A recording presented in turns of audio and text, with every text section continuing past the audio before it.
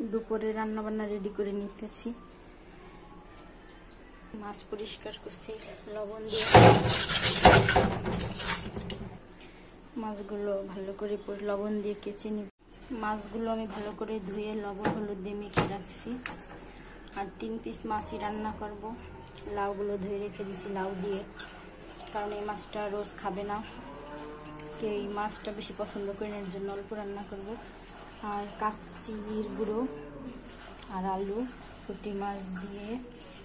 আর এখানে আমি দিয়ে রেখে দিচ্ছি মূলো আর ধুন্দুল দিয়ে মাখা মাখা। এবার আমি রান্না শুরু করে দেই। পুঁটি মাছগুলো আগে মেখে দেই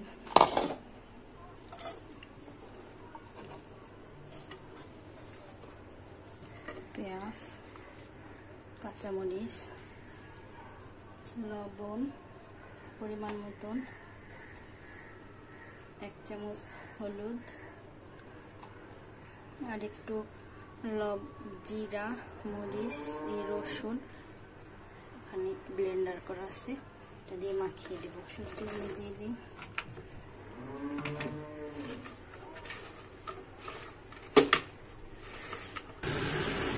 পানি দিয়ে দিতে দিব একটু পানি দিয়ে দিচ্ছি ঢেকে দিব।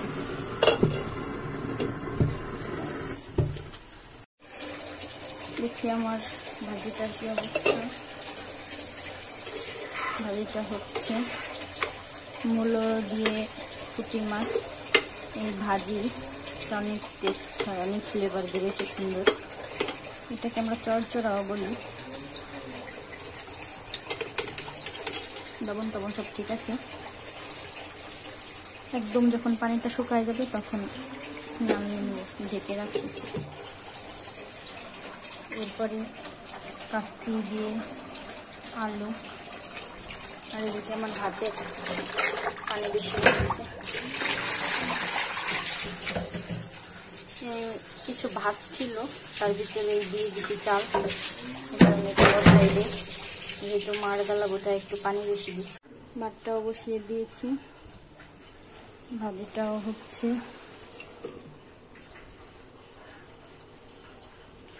আর এখানে আমি সব রেখে দিয়েছি। ভাজিটা নামিয়ে তারপরে এটা দিয়ে দিব। রোজের কোনো ভাজ পাইতেছি না কেন দেখে আসি, অনেক রোদ উঠছে বাইরে। আমার বাবাটা কি করে একটু দেখে আসি। বাবাই, তুমি কি করতেছ? সে খুব মজা করে মোবাইল দেখতেছে, আজকে তার বাবাই বাসায়, তাই আর সে আজকে আমার কোনো কথাই শুনবে না। তাই মোবাইল নিয়ে বসে গেছে, এমনি দিনে দেখে না।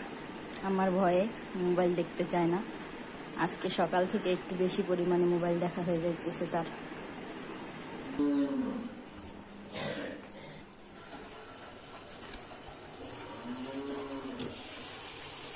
তো শুকায় গেছে প্রায় পানি। একটু নেড়ে চেড়ে নামিয়ে নেব। বাজিটা শেষ, এবার নামিয়ে নেব। এবার এটার ভিতরে আমি কাচ্চি মাছ দিয়ে দিব। সবই দিয়ে দেওয়া আছে, মাছ, লবণ, হলুদ, কাঁচামরিচ, পেঁয়াজ, টমেটো। এখন একটু মশলা আর একটু তেল দিয়ে দেবো। একটু মশলা দিয়ে দিই।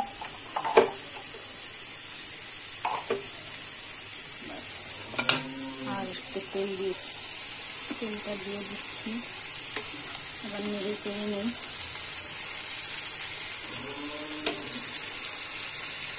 কেন এর ভিতরে ভালো করে নাড়া যায় না স্লিপ কাটতে চুলার উপর থেকে একটু পানি দিয়ে এবার ঢেকে দিব পানি দিয়ে দিছি এবার ঢেকে দিই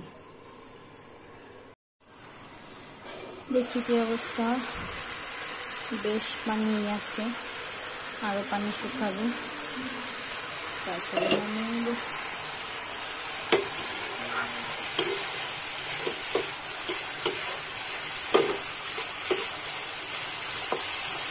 সিদ্ধ হয়ে গেছে।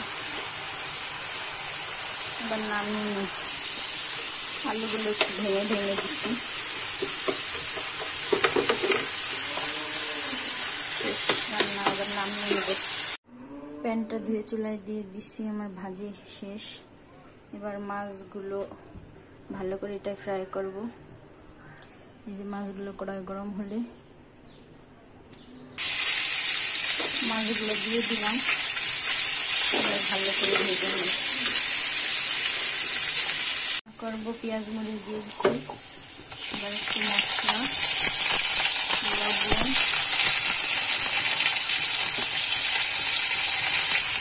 হলুদ একটু মরিচ গুঁড়ো ভালো করে মশলাটা কষিয়ে নিব। আমি ফ্রাই প্যান নন স্টিকের এই প্যানগুলো থেকে কড়াইতে রান্না করে বেশি মজা পাই। প্যানগুলো মনে হয় কি যে দৌড় দেয়, যখন আমি নাড়তে যাই দেখা হয়ে যায়। কড়াইতে বেশ আরামে নাড়া যায়। নেড়ে ফেলে আমি মজা পাই। এবার আমি সবজিগুলো দিয়ে দিব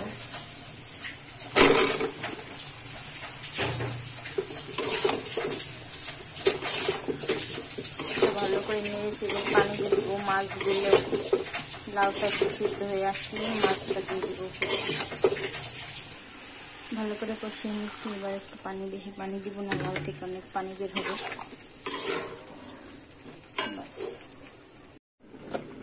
ধনে পাতা দিব, দেখি কি অবস্থা। তরকারিটা শেষ, এবার ধনে পাতাটা দিয়ে দিব। লাল সঙ্গে ধনে পাতাটা খুব যাবে।